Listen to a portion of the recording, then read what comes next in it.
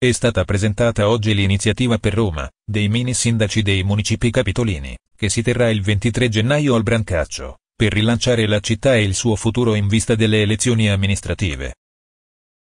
Nove dipendenti del Museo Nazionale delle Arti e Tradizioni Popolari di Roma sono stati sospesi dall'esercizio dei pubblici uffici per la durata di un anno. Grazie alle indagini dei carabinieri di Roma, si è accertare come i nove dipendenti, dopo aver marcato la presenza, si allontanassero dal posto di lavoro, oppure timbrassero per conto di altri colleghi, che arrivavano più tardi rispetto all'orario previsto, o che addirittura non si presentavano al lavoro.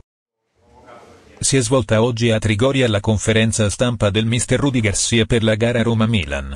Sulle condizioni di Salah, Totti e De Rossi, queste le parole del mister.